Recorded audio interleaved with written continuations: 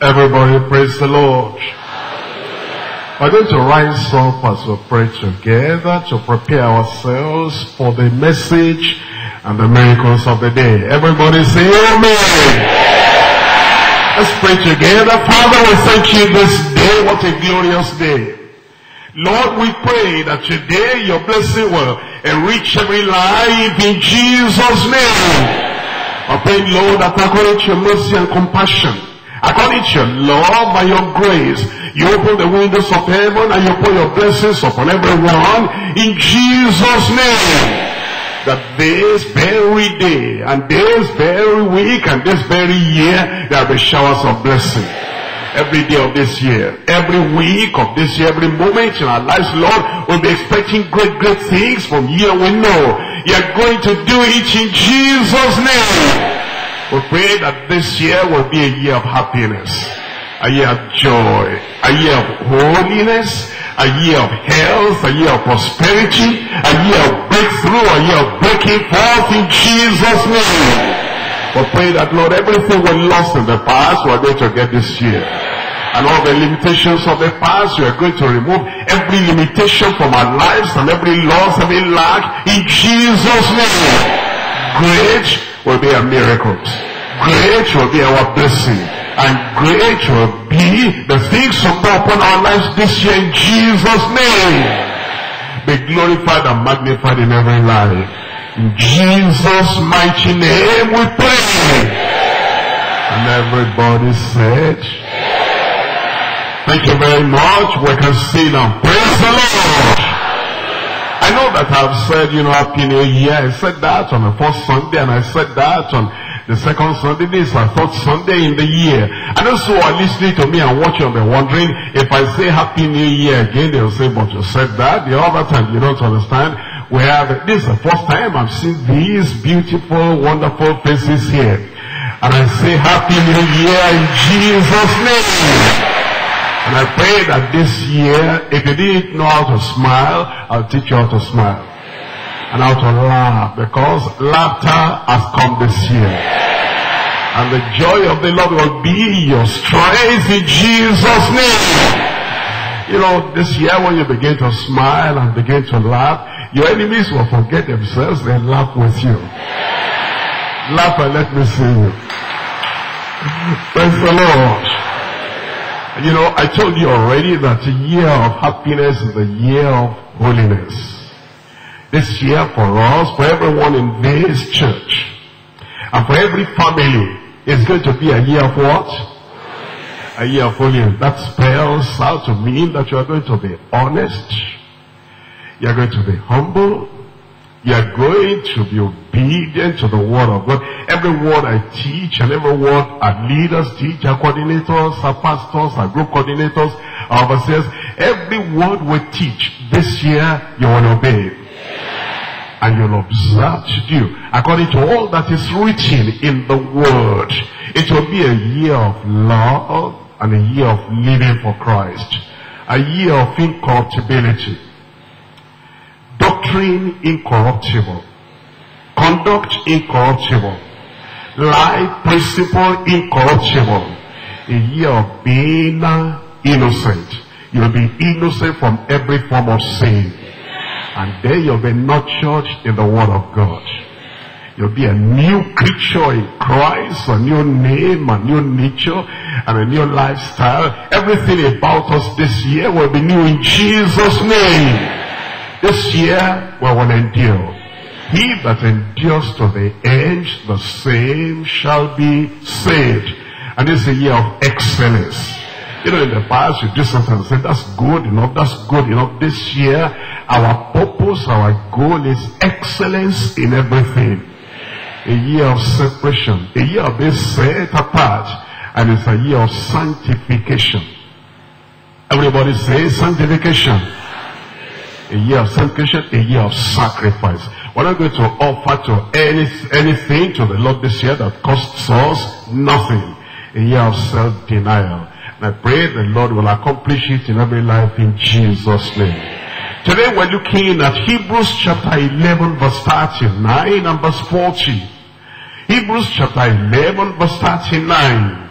And these all, having obtained a good report through faith, receive not the promise, God having provided some better thing for us, that they without us should not be made perfect.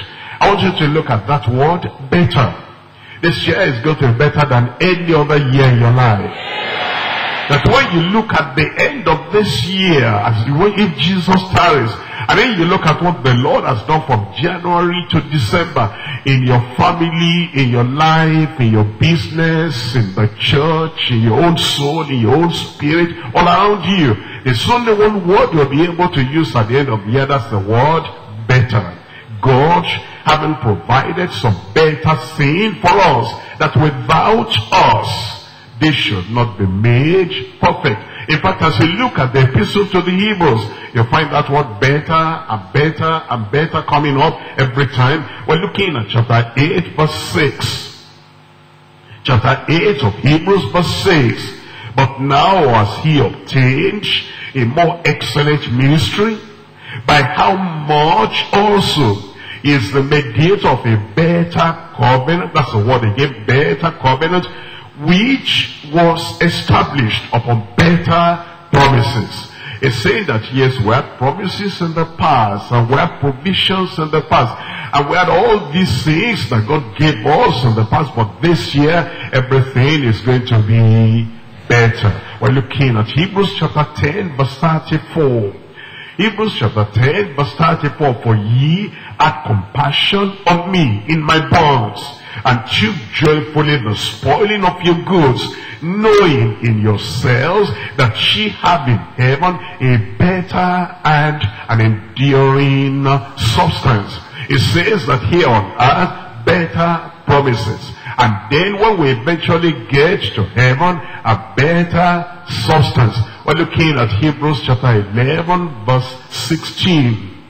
But now they desire a better country that is an heavenly, whereof wherefore God is not ashamed to be called their God, for he has prepared for them a city. Again, you find that word there, and it's talking of better. Everything about us this year, everything about the provision of the Lord, the Lord is saying is going to be better than it ever was in our lives in Jesus' name. Ezekiel chapter 36. Ezekiel chapter 36. We're reading from verse 9. For behold, I am for you and I will turn unto you, and ye shall be, ye shall be tilled and sown, and I will multiply men upon you, all the house of Israel, even all of it, and the city shall be inhabited, and the ways shall be builded, and I will multiply upon you men, man and beast, and they shall increase and bring forth and bring fruit and I will settle you after your old estates. I will do better unto you than all than at your beginnings. That is, since you became born again, you repented of your sin, you believed on the Lord Jesus Christ. You came to the Lord as your Lord and Savior. And your life turned around. And your life was transformed. And your life was changed. And you can tell a lot of testimonies since you became born again. The Lord has done this and this and this for me. At the beginning of my Christian life, the Lord is saying, whatever you've got in the past, you are going to get more.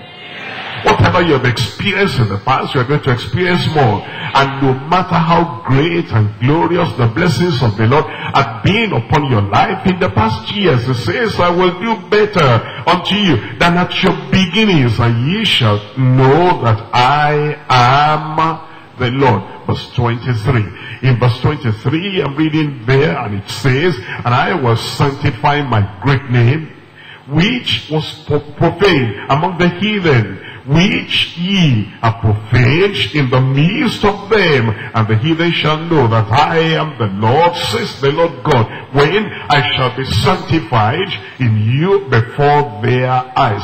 The Lord is saying that when people look at your life this year, they look at the blessings you have, they will glorify the name of the Lord. They will exalt the name of the Lord. They will sanctify the name of the Lord in verse 24. For I will take you from among the heathen and gather you out of all the countries which I will bring you into your own land. You'll come to your own land.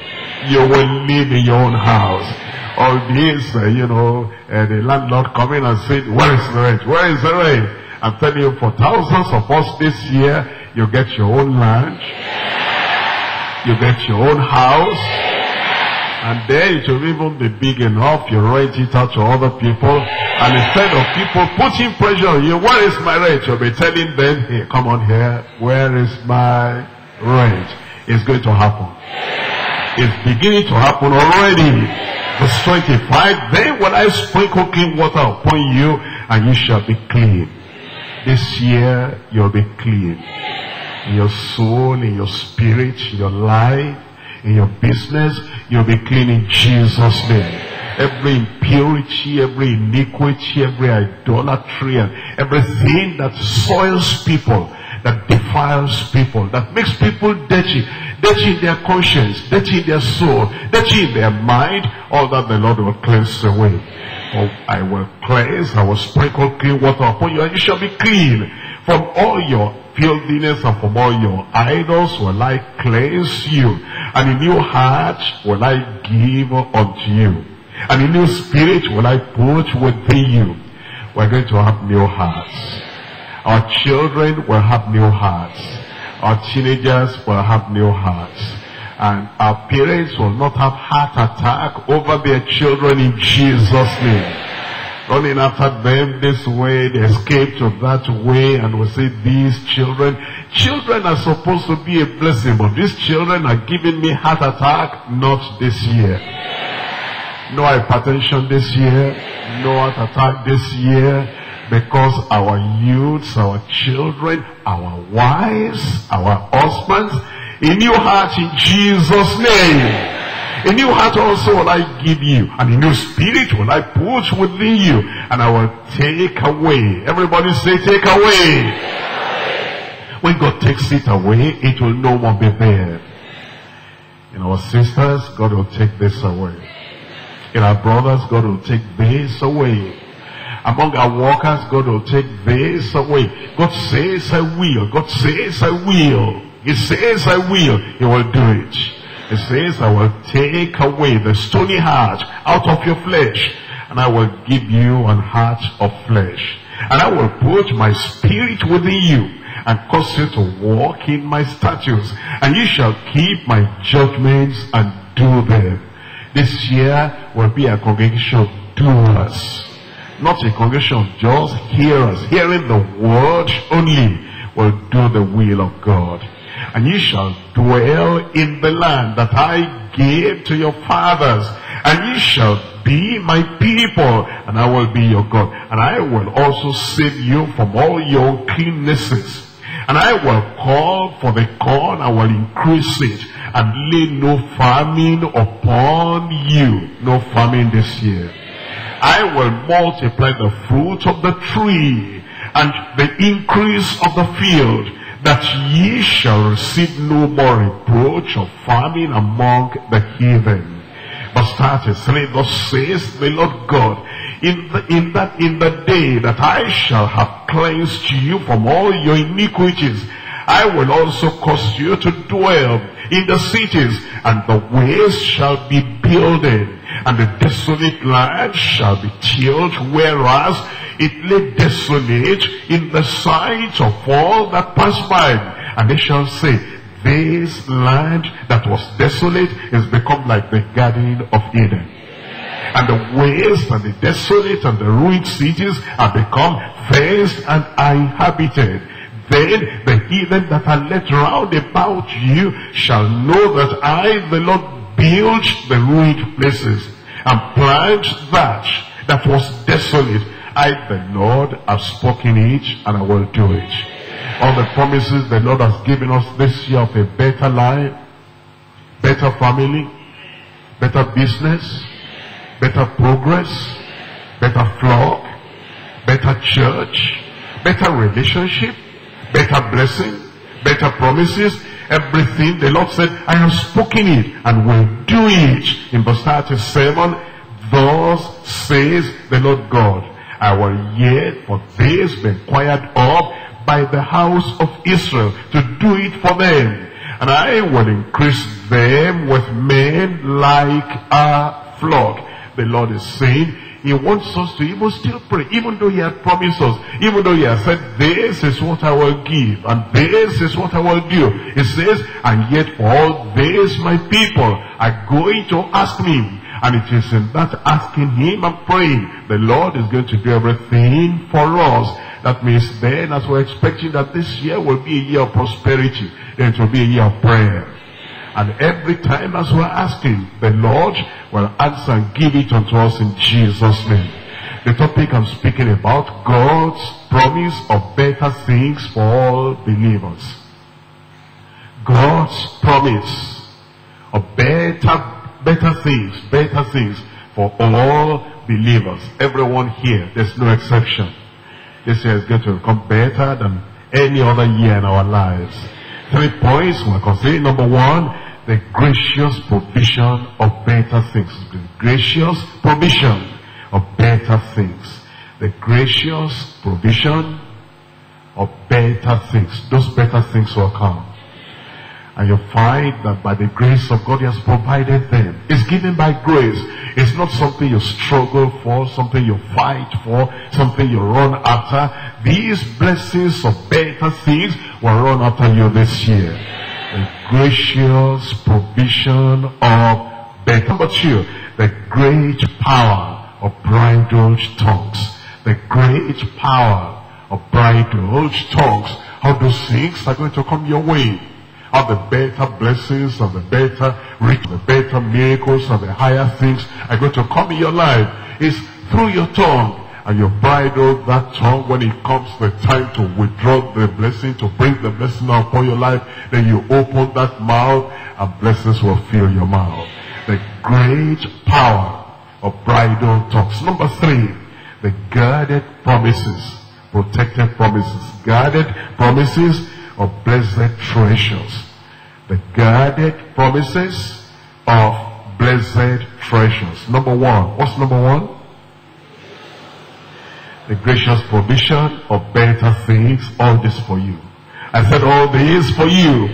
In Isaiah chapter 56, verses 4 and 5. Isaiah chapter 56, verses 4 and 5. For thus says the Lord, unto the eunuchs that keep my Sabbath. It's talking to people that honor the Lord enough, respect the Lord enough, reverence the Lord enough, exalt the Lord enough in their lives, that they keep His word, and they keep the Sabbaths, they keep the Lord's day holy and they reverence the Lord, they, they honor the Lord, they worship the Lord on the Lord's day. And they make it a principle. Today is the day of the Lord. From the very time I wake up until the very, until, until the night, I'm just going to have all my heart, all my mind centered on the Lord. The people that worship the Lord on his day, thus says the Lord, unto the eunuchs that keep my Sabbaths and choose the things that please me. The people that do not choose the things that please their flesh, please their families, please their neighbors, please their friends, or even please their enemies, or please anybody in their lives. But the number one person to please is the Almighty God. And they are asking themselves all the time, what I do, what I say, how I live, how I comport myself. Does this please the Lord? They're not pleasing their carnal minds because the carnal mind is taken away.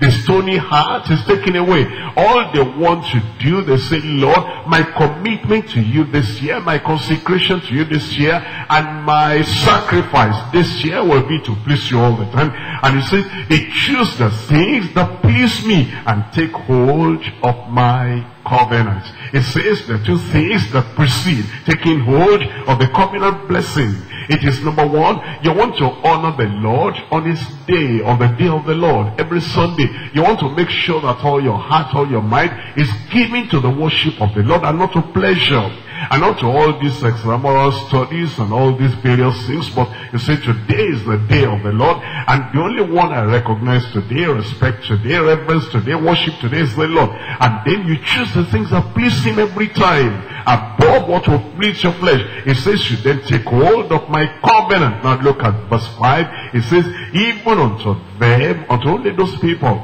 that honor Him, that love Him, that worship Him, the people that choose the things that please the Lord, and the people that take hold of His covenant, even unto them will I give in mine house, and within my walls a place and a name better than of sons and of daughters. Praise the Lord. But look at the condition in verse 4, and you make sure that all the time you are conscious of that condition. And you're saying, this year is going to be a year of pleasing the Lord, following the Lord, walking after the Lord, and doing the things that please the Lord. And then he says he's going to give you a name that is better than the names of the sons and of the daughters. And I will give them an everlasting name that shall not be cut off. It will happen. We're looking at Hebrews chapter 8, Hebrews chapter 8, I'm reading from verse 6 again. Hebrews chapter 8, verse 6. In Hebrews chapter 8 verse 6, but now has he obtained a more excellent ministry. That's talking about Christ.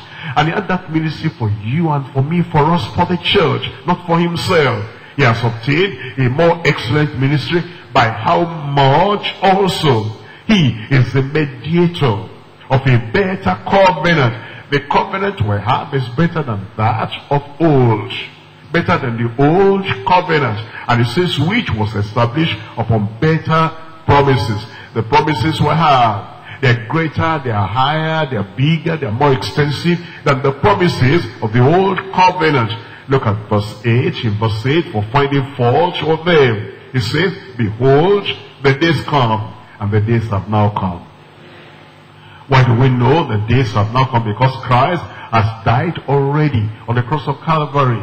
He has shed his blood already on the cross of Calvary. He has proclaimed and he has said, it is finished. That's how we know the days have now come. Behold, the days come, says the Lord, when I will make a new covenant with the house of Israel and with the house of Judah. Look at verse 10. For this is the covenant that I will make with the house of